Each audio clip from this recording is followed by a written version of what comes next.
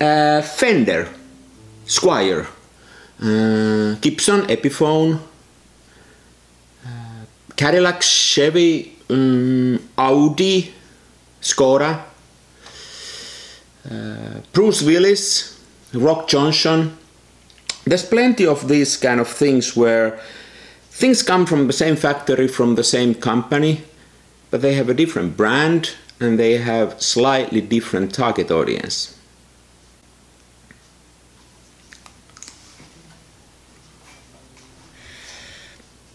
Say you build a product and it costs you say $100 to make the product. And then you do your research and calculations and you say that I'm gonna sell this product. The, the, the retail price of this product is gonna be 250 that should give enough margin for the marketing cost, distribution cost and all those and still give you a decent profit. You sell the product, later realize that people are willing to pay more for your product, say all the way up to 400, but now you are selling it 250. So then you crank up the price to 400 and you are still making a good business because now you may sell less of your product, you know, less units, but since you get a bigger margin, your profits are bigger.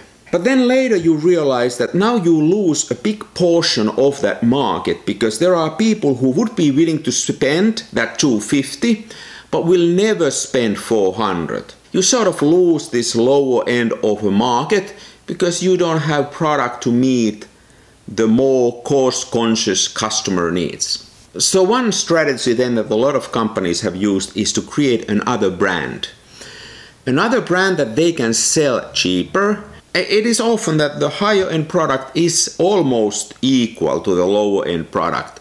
But the different brand allows you to sort of market them through different channel and give an impression of a higher end product and that brand and then the lower end product so they don't compete and you can still charge 400 from those people who are willing to pay and then you can grab those customers who are not willing to pay that much and still do profitable business you can maximize your market reach and you can still specialize into different market segments with the brand suitable for that segment. Clever huh? And the purpose of this all is to take all your money. So a good example of this strategy is a Rolleiflex and then a Rolleicord. Now Rolleiflex is the top of the line, more expensive, more prestige brand, whereas Rolleicord is sort of a little bit more low end and Rollei has been able to sell this much cheaper than this one. So I thought it might be interesting to do a little bit comparison between a Rolleiflex and a Core.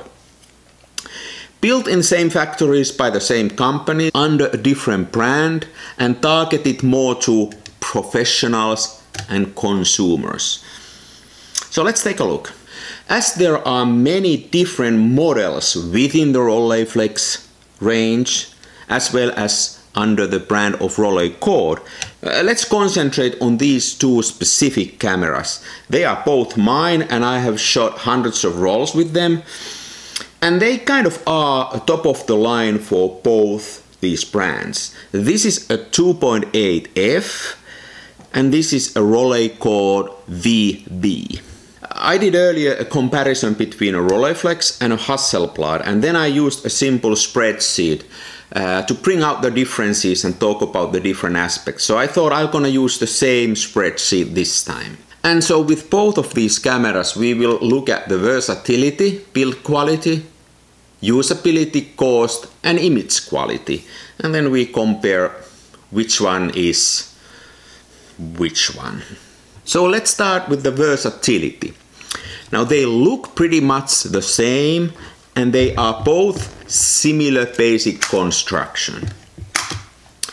You cannot change the lens, there's no automation, it's all manual.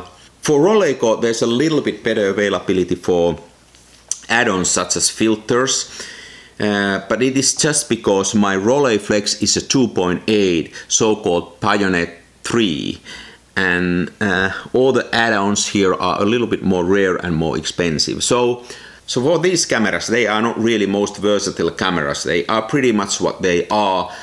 So when I was comparing Hasselblad and Rolleiflex, I gave uh, Rolleiflex uh, a 2 for versatility compared to Hasselblad giving 8. So here I would give this a 2 and then I would give Rolleicord a 3 just because of a little bit better availability of those add-ons. Then let's talk about the build quality. There's a tiny difference in build quality. This is a little bit heavier and a little bit bulkier. And you can sort of feel that even though your Rolleicord is also beautifully built, really nice workmanship.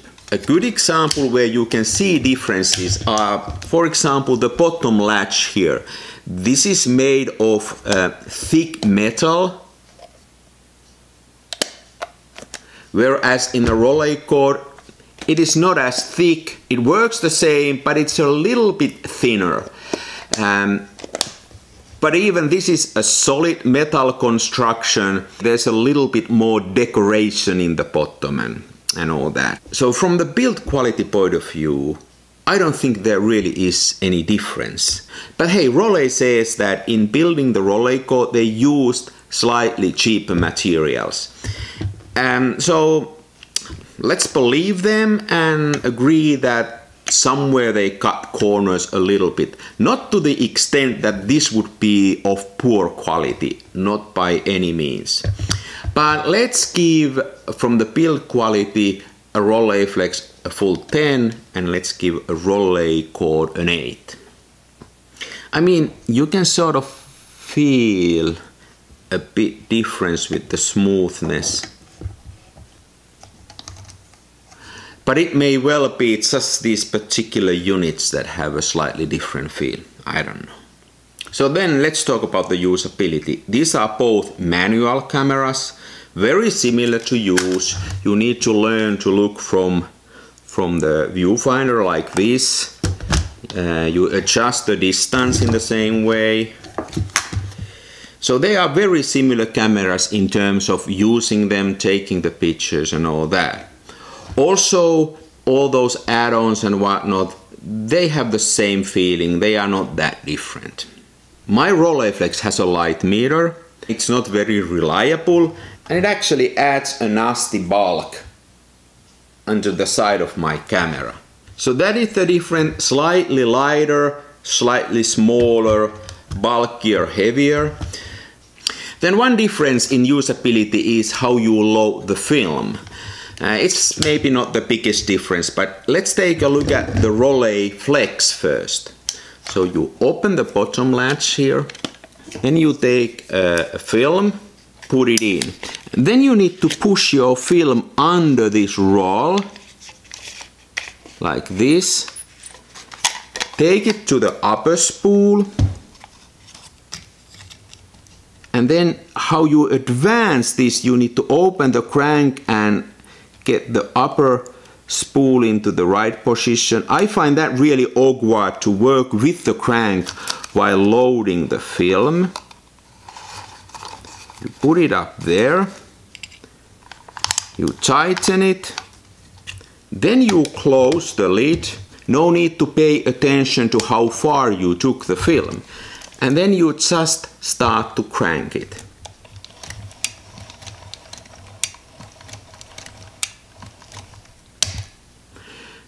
The Rolleiflex notices the thickness of the film. So when the packing paper is combined with the film, it gets a little bit thicker. And Rolleiflex notices that tiny difference in the thickness and knows when the film starts. So that happens automatically. And then you just rotate as long as it goes. It stops, crank back, and now it's ready to shoot. Rolleiflex advertised this to be an improvement that you don't need to look at the start of the film, but your camera detects that automatically. That is okay as long as your camera is in the right specs and it really notices the difference and then your film is not of an odd type that is too thick or too thin. But it actually works. I've never had really problems with this automatic film detection. So I guess it works as Rollei intended. Then let's take a look at the Rolleicord, how you uh, get your film into a Rolleicord. In the very same way you open uh, the back of the camera and in the very same way you put your film into, into the camera like this. But unlike in Rolleiflex, you don't need to squeeze this film under any kind of a roller or anything. You just take it up here and then find the right spot from the upper reel. Now I find using this kind of a crank or this kind of a lever much easier when loading the film. You don't need to rotate the big crank but you can actually adjust the upper spool into the right position in the very same way you put the film in there and you start to rotate. Now there is no automatic measures to know when the film starts so here you need to pay a little bit attention and you just push the film forward as long as you see an arrow and there's a red dot and you align the arrow with the dot. Then you close the lid and then you rotate this as long as it goes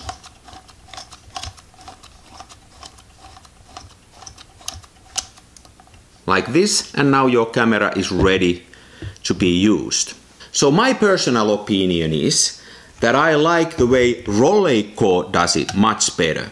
So for example, if you are out in the freezing cold and you need to change your film, um, you don't need to squeeze it under any kind of tiny spools or, or anything like that with the Rolleicord. And also you don't need to work with this handle while you know putting the film in. The only thing you need to pay attention is to align this little dot with an arrow.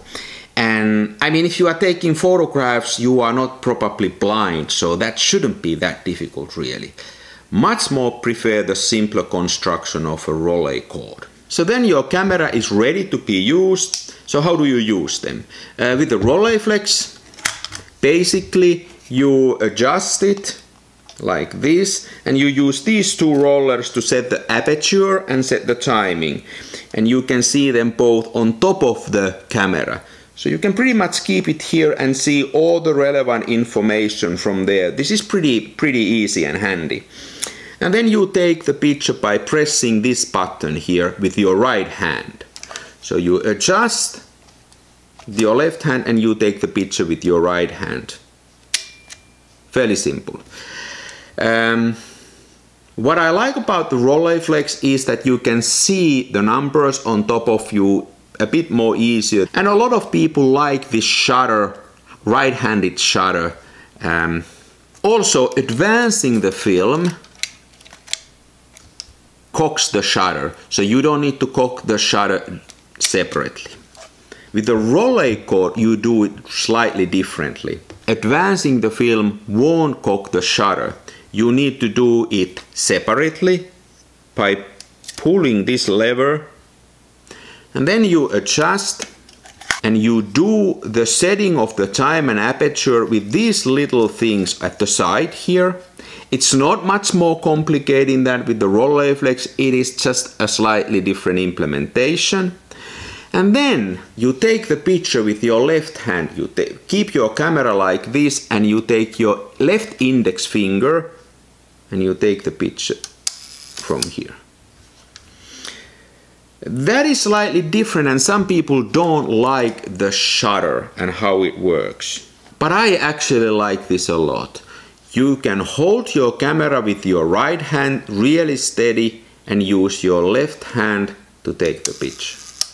So I don't know, there are some differences but not really that much.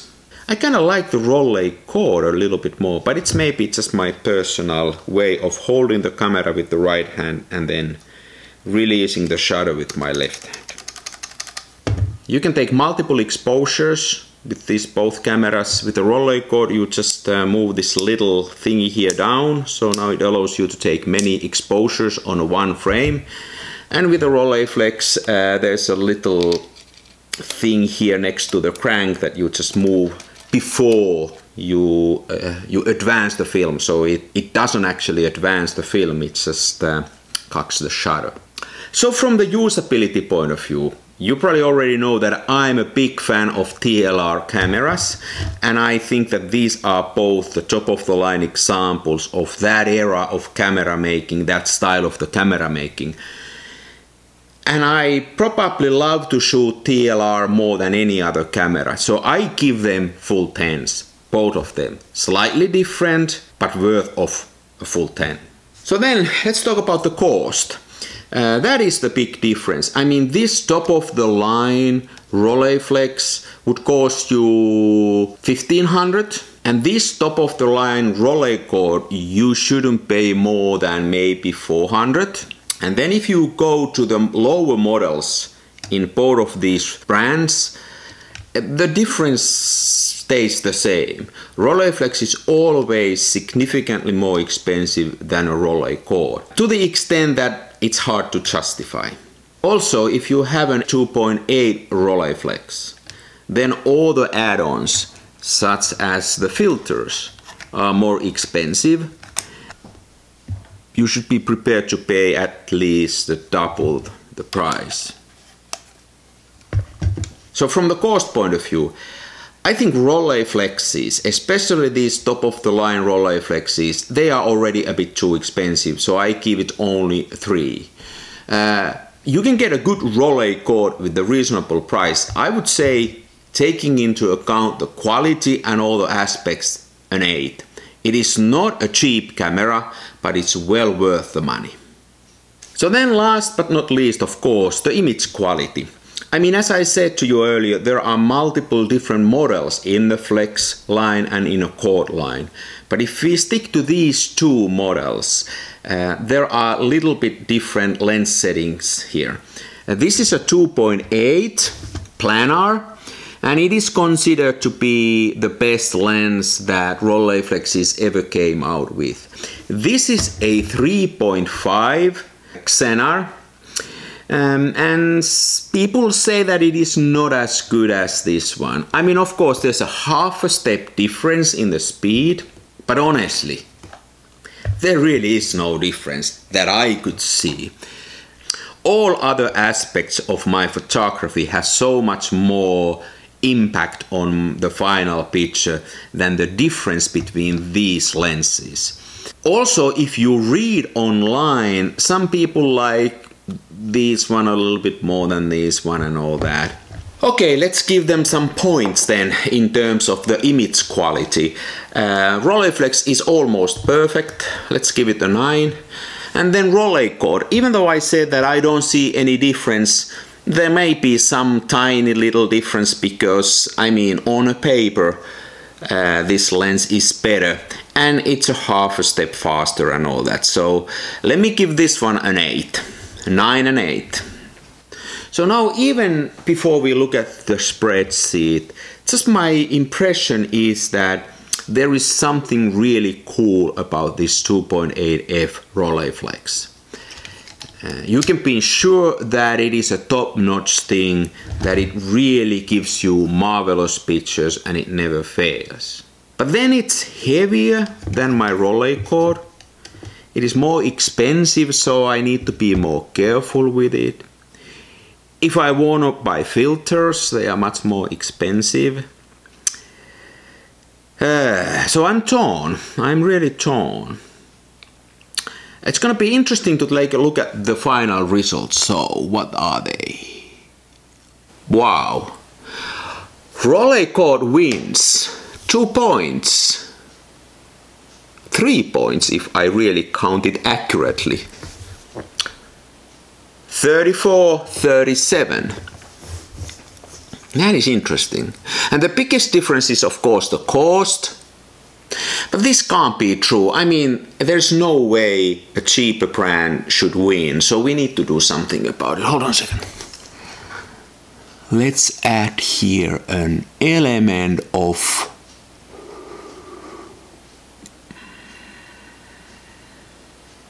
Yeah.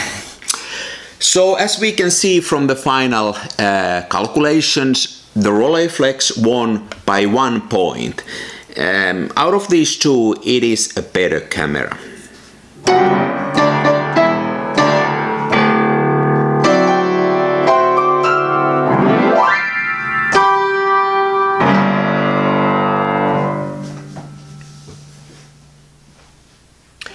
Hey, there's a funny story. Some companies go even further than these two to differentiate same products with a different brand.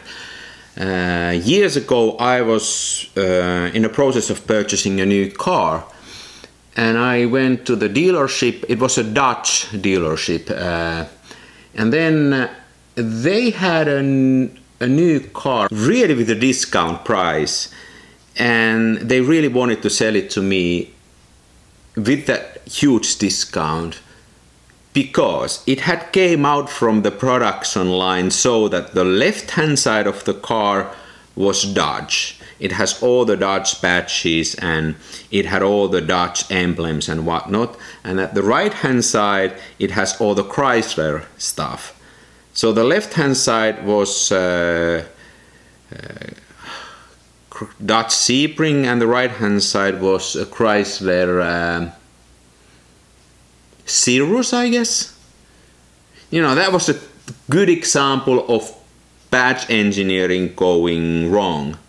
Uh, this is not what these cameras are. These are genuinely different cameras, but built probably in the same factories under the same company, just to be able to target different markets.